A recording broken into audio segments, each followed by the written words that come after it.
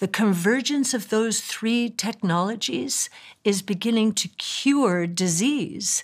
So, uh, a company called CRISPR Therapeutics, which is one of the largest in our ARKG fund and in the top 10 in our ARKK fund, uh, has developed a therapy uh, to cure sickle cell disease with and beta thalassemia. Both of those are blood related diseases with one treatment. Think about that. Now, the preconditioning for that is gruesome. It's it's it involves it's almost like chemotherapy, uh, which is going to change. Uh, but nonetheless, there's huge demand for it because, you know, these people go to the emergency room ten to twenty times per year for blood transfusions to save their lives. Mm-hmm. Of course, they're going to go through a tough regimen. They want to live a more normal life. Uh, so it's already generating revenue. Both, both of those are already generating revenue for CRISPR Therapeutics and a company called Vertex. Cathie Wood has built her reputation by spotting transformative companies long before Wall Street catches on. Here, she highlights CRISPR Therapeutics, not just as a biotech success story, but as proof that disruptive innovation changes entire industries. For Wood, the blending of artificial intelligence, genomics, and robotics is unlocking value in ways that most investors cannot yet appreciate. To her, the companies that ride these innovation waves won't simply grow, they'll multiply. And when she says, an AI stock can 10 times by 2030, she's drawing from this same playbook of exponential growth. Yes. And now our prediction the stock is. I'm not going to be exactly right on this, 270, 280 uh, dollars. Uh, our prediction in five years is 2,600. And 90% of that valuation comes not from the electric vehicle, but from this robotaxi platform. Uh, because the electric car, if you think about it, is you know a one-shot sale. You know, sell and hope they come back when they're replacing their car. This essentially means that we'll be driving cars that we can click a button and then it becomes an autonomous taxi. So- Tesla is the clearest example of this exponential leap. Years ago, Wood was mocked for suggesting the company could soar past levels that seemed unimaginable at the time. Now she sees the robo-taxi platform as the real driver of future value. The logic is simple yet powerful. AI transforms a one-time car sale into a recurring revenue business, much like a subscription model. This shift from product to service is what Wood identifies as the essence of 10 times potential. So I go on holiday, I have my, my Tesla car at my house.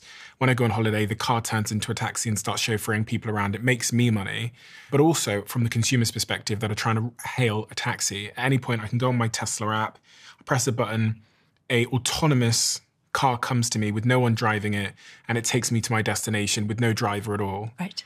Um, and then the recurring revenue model, I believe, is you subs- you subscribe. It, it probably could. It, it, to the it network? could be a sub, you could subscribe to the network, or they could, uh, you know, maybe it could be either or subscription mm-hmm. or a la carte if you don't think you're going to use it that much. Here, Wood paints a vision of how AI-enabled systems could reshape everyday life. A car is no longer a depreciating asset sitting idle in the driveway it becomes a productive income generating machine. For Tesla owners, this could mean their vehicles literally work for them, while consumers benefit from cheaper, more efficient transportation. This business model, powered by artificial intelligence, illustrates why she believes the upside is so dramatic. One other thing about Tesla, though, in that $2,600 uh, number, we do not include much for humanoid robots. Now, I, this and and this is happening faster than we thought. Um, and the reason it's happening faster is humanoid robots. They are the convergence of the same three technologies or innovation platforms as robotaxis.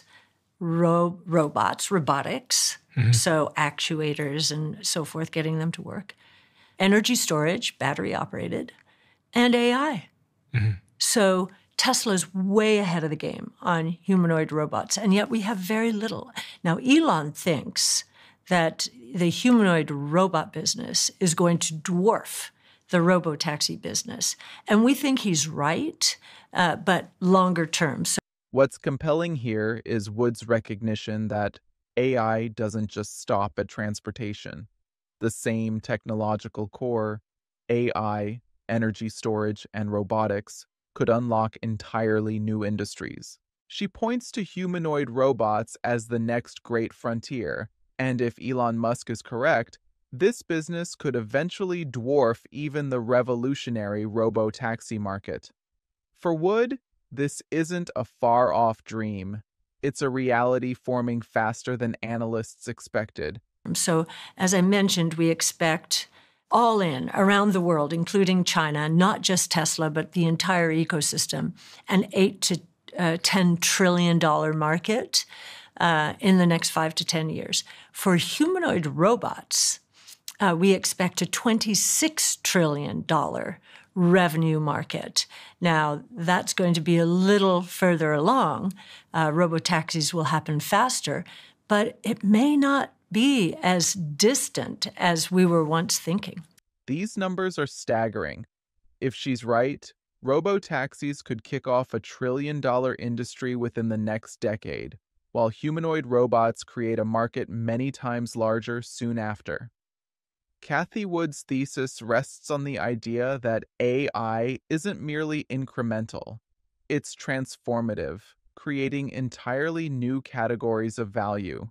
It's within these new frontiers that the 10 times gains she predicts are most likely to emerge. And uh, I do believe that though that dancing robot was was um, not tethered and not remotely controlled it was quite shocking to see a robot doing that because if a robot can have that dexterity and mobility, and then you overlay that with the AI technologies that are accelerating rapidly, it begs the question.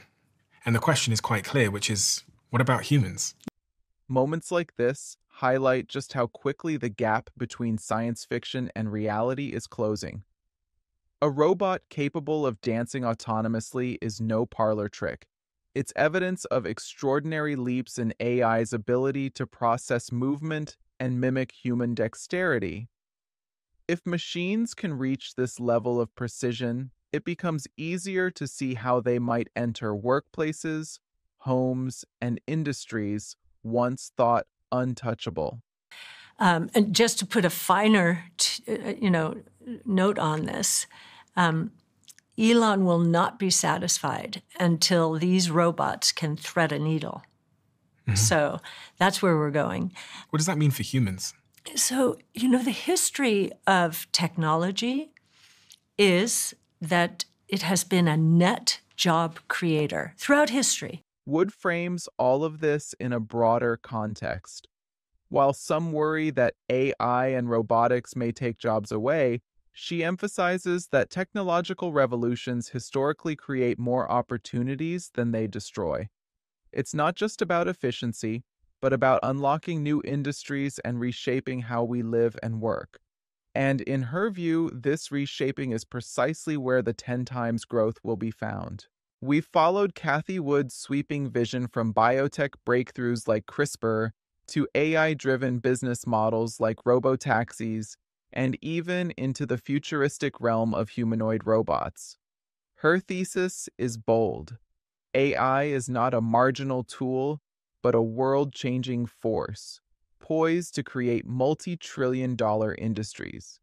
For investors willing to look ahead, she believes this is where the exponential gains will come from. So, you know, the history of technology is that it has been a net job creator throughout history. Now it's time to hear from you. Do you believe Cathie Wood is right? Will artificial intelligence fuel stocks that rise tenfold by 2030? Or are these predictions a step too far into the future?